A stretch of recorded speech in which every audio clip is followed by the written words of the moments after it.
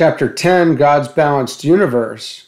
God created this majestically balanced, beautiful universe in which man slowly unfolds into the heaven of eternal peace and happiness in the measure in which he comprehends the one great principle of balance in nature.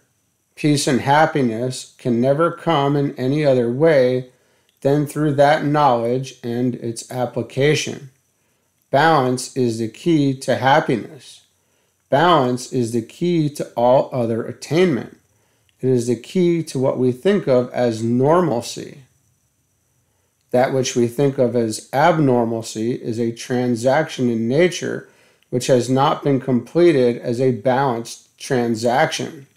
Unhappiness, misery, the agonies of war, the frustrations of life, the crippled and the blind, the diseased and the sick, all of these are not normal because all are the result of uncompleted transactions in life which leave a residue of unbalance in them. Nature never allows abnormalities to occur which will in any way upset the balance of the universe. To restore balance, she will cause hurricanes to equalize opposite temperature and pressure conditions. She will cause a continent to rise from the ocean or sink under it to adjust unbalanced conditions in Earth densities. The ocean bed itself is constantly undulating to equalize Earth's pressures. Every transaction between the two electric forces of nature is always completed. It begins in zero and ends in zero no residue remains. Nature is so completely balanced that the slight effort of a child throwing a ball in the air causes every star in the heaven to contract and expand in unison with the change of pressures caused by that slight action. Planets revolve around the Sun with such completely balanced precision that their position can be mathematically calculated for thousands of years ahead. You could point a telescope into the heavens towards blank space and prophesy that Jupiter could be seen at that point in the heavens a thousand years from now, and it will appear there on time, not one second late, and not a hundredth of a degree out of line. If our lives were as balanced as that, there could not be a moment of unhappiness, pain, sickness, or any other departure from normalcy in them. Our Earth has its own perfectly balanced position in space from which it never varies one second in a trillion years. It constantly moves to keep that balanced position, but it is moving in balance with every other planet in the system, which also must move in unison. If this Earth had free will to do as it chose, as man has, and moved out of its orbit for even one hour, not one man would be left alive on it. The oceans would sweep everything off its surface, and the cataclysmic disaster which would follow such a seemingly trivial event in our solar family. When the Earth got back to its proper position after such an escapade, the normal calm would return, but life and growth would have to start all over again as the affairs of men have to start all over again after unbalanced escapades in their businesses. In the meantime, the man or woman who got off their balanced path for a little escapade, which seemed too small to affect them, manufactured a lot of unhappiness for themselves. That is what I mean by saying that happiness and peace are impossible of attainment when people are out of their balanced normal orbits assume for a moment that all the planets in the solar system strayed from their paths even just a little, immediately their inharmonious coexistence would cause a solar disaster, which would be like a cosmic cyclone in the solar family. Men do that, however, and wonder why they are unhappy and why there is so much suffering and misery in the world. When thousands of businessmen go off their paths by over optimism or greed, they bring down upon their heads a world depression or panic. When nations try to take from each other to enrich one by impoverishing the other, two violently unbalanced conditions are created which cause wars. Wars are effects of unbalance which have their cause in man, yet millions pray to God to stop wars which man created. If happiness, peace, success, and all that is good is attainable only by obeying the law of balance, the more we comprehend that principle, the more we will be able to keep the human family in orbits which balance with one another as God keeps his solar family in balance. For this reason, let us return to the basic principle of undivided and unconditioned oneness, in which balance itself is undivided. Motion is impossible under such under such a condition. Also effect is impossible without motion. There must be two extended conditions which are divided from one to make motion and effect possible. Witness two children sitting together in one united balance condition in the middle of a seesaw. Motion is impossible, so cause and effect are impossible. When the children are divided and extended to the end of the seesaw, they still cannot move, for they are in balance with each other and with their fulcrum source. They must interchange with each other by giving and re-giving to each other to create motion and effect. Two unbalanced conditions are immediately established which will remain unchanged if the equality of interchange is not varied. The moment that balanced interchange is not equal, however, disaster begins. You can now understand that God cannot dramatize his one idea of love without dividing it and extending it and causing motion between the two by interchanging their divided love as the two children on the seesaw were divided and extended for interchanging purposes. He created man and woman to know love and to manifest love by giving and re-giving love to each other and to all creating things. He divided man and woman equally in order that they might find unity in each other and interchange equally with each other.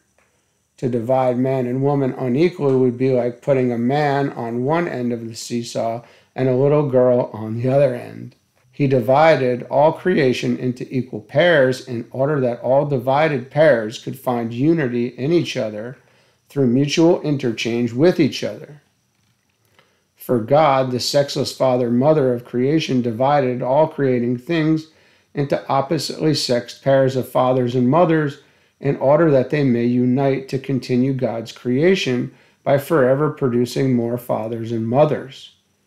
This God did to all things in his creation, to all creatures above the earth and beneath the seas, to all elements of matter which compose all bodies, to all suns, all stars of all the heavens, and to the majestic galaxies which give birth to his suns and stars. The oneness of all things he divided to make them appear to be countless many things and many ideas instead of but one. He divided them into countless twos and impregnated them with sex urge to attain sexlessness through balanced interchange between the two. He divided his light into days and nights and made each one give birth to the other one eternally. He made the dark to give birth to light and the light to give birth to dark. He divided his life into the life which comes with each inbreathing and that other life called death by man, which goes with each outbreathing. He made life to give birth to death, and death to give birth to life. He divided matter from space and commanded that each forever give and re-give equally that which he has to the other. Likewise, he made space to give birth to matter through their mutual interchange, and matter to give birth to space. He divided suns and earths into equal interchanging mates and placed an equator between their hemispheres to balance their interchanging. He divided his pure white visible light into equal red and blue halves and placed an equator of pure white light between the two. He divided the stillness of his universe of rest into vibrating opposed pairs of mates to create interchanging motion, where not but universal rest is. He divided his balance zero of temperature into cold and heat and made each to give birth to the other. He divided his knowing into two way thinking to create a balanced, two way sexed electric universe of interchanging waves to stimulate the idea of his imagining in moving forms made in his image. Above all other things of import in his creation, he divided his unconditioned balance into two unbalanced conditions to produce effects of motion between interchanging parts. He likewise made one inviolable law to govern and control all interchanging between all pairs. I will now give you that one law that governs and controls all motion in the universe, which includes everything you do every moment of your life. And do not forget that you and I and everything in the universe are governed and controlled by that one law. Do not forget also that whatever is wrong with your health or business or any other thing which affects your happiness or world happiness is caused by either your ignorance of that law or by its defiance. Do not forget also that whatever ignorance you may have regarding the forces which control your destiny and your moment to moment happiness is due to the fact that you cannot see those forces. You cannot see the invisible universe. That is why man ignores it, yet the invisible universe absolutely controls the visible universe. You cannot see gravity, electricity, balance, or truth, yet you are controlled by all of them. They command you, and you either obey them and find harmony, or you disobey them and create discord. If you defy truth by telling a lie, you hurt yourself. If you defy gravity, you destroy yourself. If you defy balance in any respect, you punish yourself in the measure of your defiance. Whatever you do in obedience to that law or in defiance of it, you are doing to yourself. Herein follows God's one inviolable law, which all creation must obey or suffer the consequences of disobedience. My one command to all sex divided pairs of opposites in all my universe is that there shall be balanced, rhythmic interchange in all their givings and regivings. That being from the divine Iliad. The unbalanced and disunited man made world we now live in is entirely due to man's ignorant defiance of this one law of balanced interchange in the giving and regiving of oppositely divided pairs of creating people and things. Every ill which attacks mankind or causes unhappiness, frustration, or agony is due to unbalance in his actions. Has that thought ever occurred to you? If you are suffering from heart disease or cancer, has it ever occurred to you that you yourself created it as surely as you back, as you baked a cake this morning? You did it by defying God's law of balance in some respect. Nature is normal because it is balanced. Any so called abnormality in nature anywhere is due to unbalance. Your heart disease is an abnormal condition. Wherever nature is given a chance, she restores all abnormalities to normal conditions of balance. The secret of mind healing lies in the power which is in mind to command unbalanced conditions in people to become balanced. Jesus had that power because he knew the law. He could extend his balance to others because balance was in him. He could command because his knowledge gave him the power to obey no one can obey that which he does not know, nor can anyone command who has not first learned to obey, nor can anyone heal beyond his power to obey. I wonder why the world has not yet discovered this fact. There is terrible suffering everywhere just because of it. Everyone has a dozen minor sufferings daily because of it, and the world has the tragic sufferings of war and hatreds of human enmities because of it. Normalcy requires knowledge to attain and to preserve. The human race is very slowly acquiring that knowledge over its aeons of unfolding.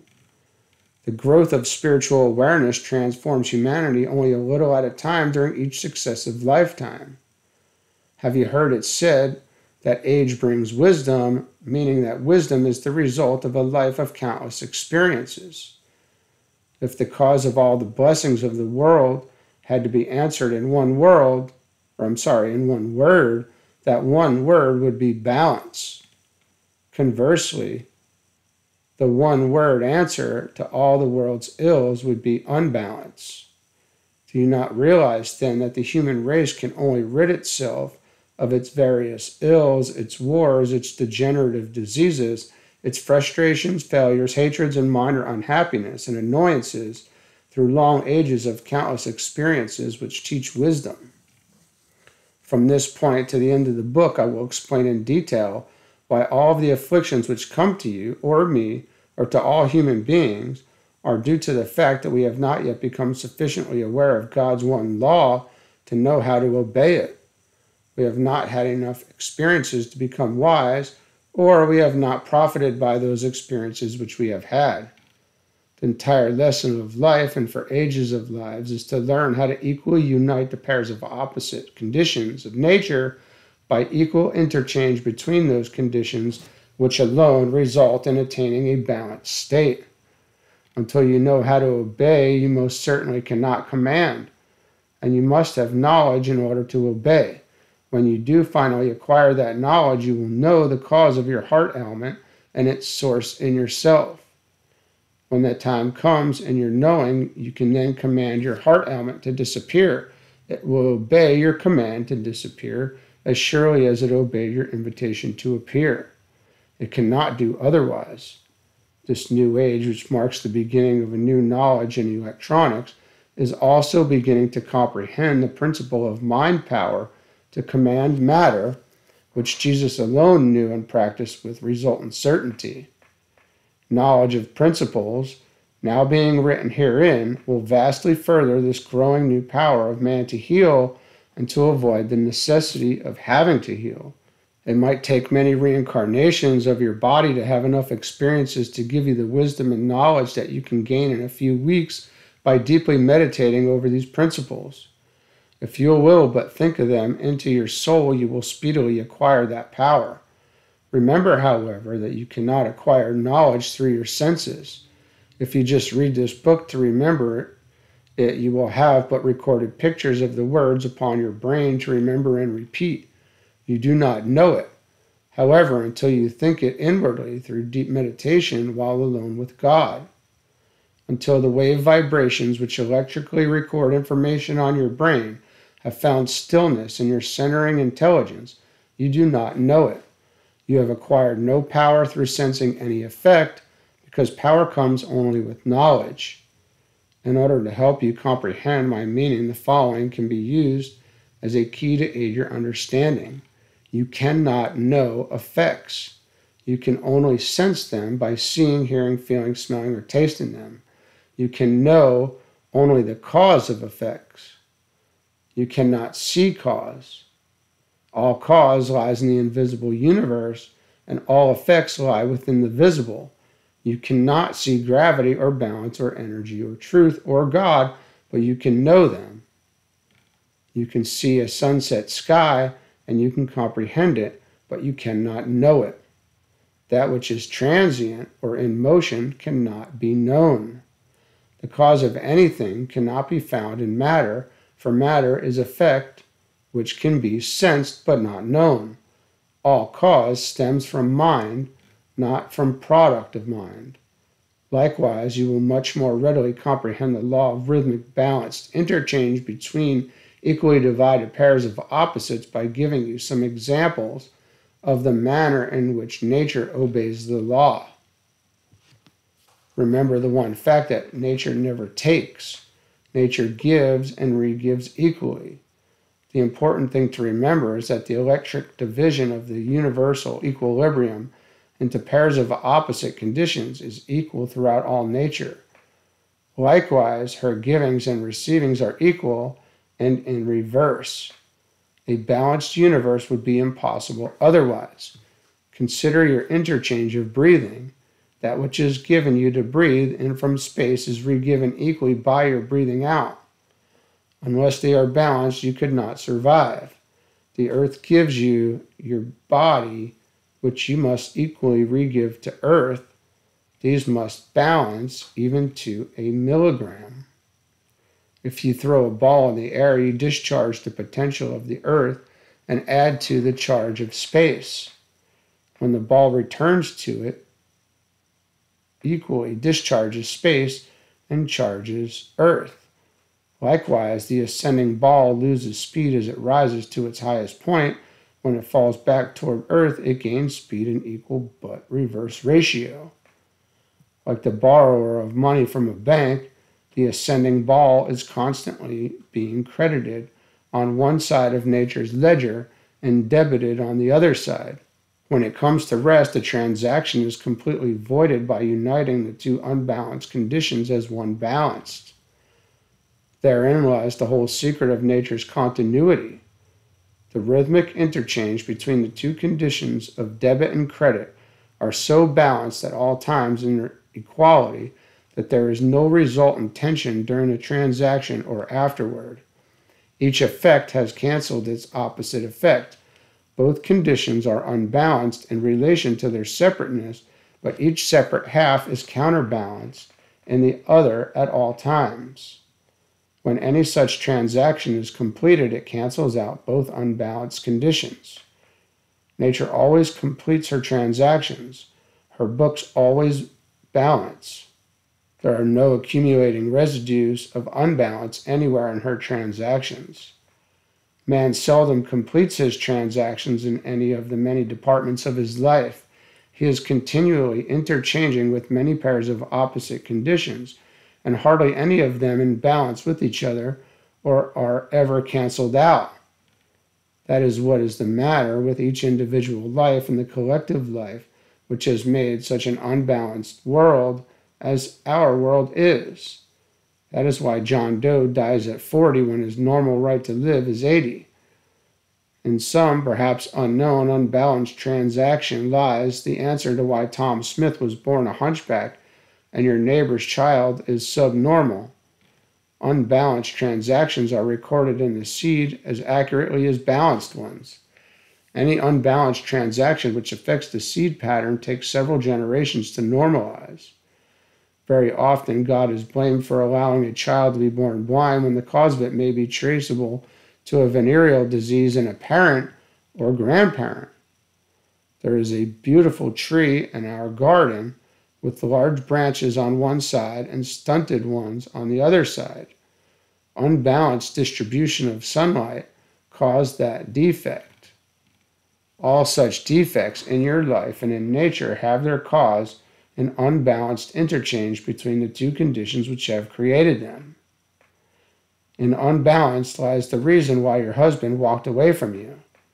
Every transaction in nature has the connotation of mating and mates must be equal for the product of mating to be normal. All problems and unhappy conditions of man are due to a breach somewhere of the law of balance. That is what causes unhappy marriages. A happy marriage unites two unbalanced conditions into one and cancels out the two. Uniting two mates into one means simultaneously canceling out the divided two.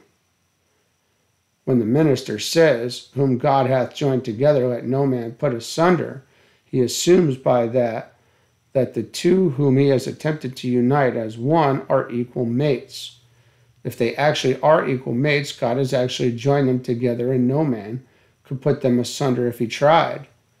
Very few marriages are between equal mates, however. There are tremendous residues of unbalance in a very large percentage of them. In such cases, God has not joined them together. They are still two, for unequal mates cannot become one any more than two halves of two differently sized apples can become one symmetrically and equally balanced apple. Marriage between mates does not mean that sex alone must be balanced. Humans have many pairs of divided conditions which must be voided by uni- unity other than just sex alone. Divided humans are lonely. Loneliness creates an injurious tension which is completely voided by companionship.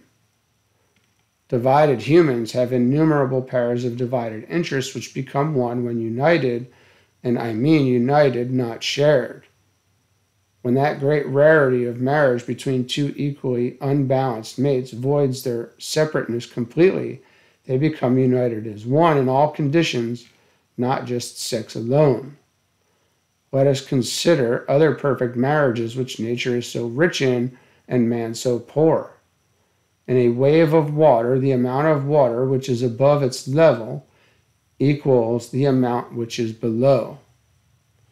That makes a perfect unity possible when the divided mates meet and marry at the crests and troughs of waves. So long as that perfect equality of division between opposite mate pairs is continued, they will be rhythmically repeated. The moment that the slightest inequality between the two unbalanced conditions takes place, however, then the danger of a crash begins. In deep waters, this will not happen, but when the sand slopes up to the water's edge, it becomes increasingly impossible for there to be as much water under the ocean level as above it. Continuity then becomes impossible, and the waves crash on the shore as inevitably as happiness crashes in homes, thus unequally balanced. If your car gives you a smooth and pleasant ride, you do not even think of your engine. However, you would immediately think of it if its vibrations suddenly threatened to shake you from your seat. If such a thing did happen, it would be because of an unbalanced relationship between the two piston strokes, which must continually unite their conditions and reverse them in order to repeat them you definitely know that you could not continue to drive such a car. It would be dangerous for you and would shake your car to pieces if it continued. The most majestic example of a successful and harmonious marriage in all nature is that of the interchange between those two opposite conditions, which we call matter and space. There we find a perfection of balance which spreads out to infinity without the slightest variance of balance between the vast suns and stars in the universe. Any marriage which could even approach being in tune with the infinite would be the most unified marriage on earth. Consider how orderly the planets revolve around the sun with such moment to moment precision that an astronomer, mathematician can tell where any one of them is to the split second or where they will be a thousand years from now. That is the way God keeps his home and his millions of solar and stellar families happily in balance. Solar families must constantly adjust their own desires to harmonize with every unit in them, just as human families should do, but rarely do. Every planet and moon in the entire solar system moves at tremendous speeds around the sun but each one of them has to constantly change its speed to keep a harmonious rhythm in the entire system. The speed of the Earth around the Sun is never the same for one moment. It increases its speed for six months and then reduces it for another six months. Every other unit in the solar system does likewise.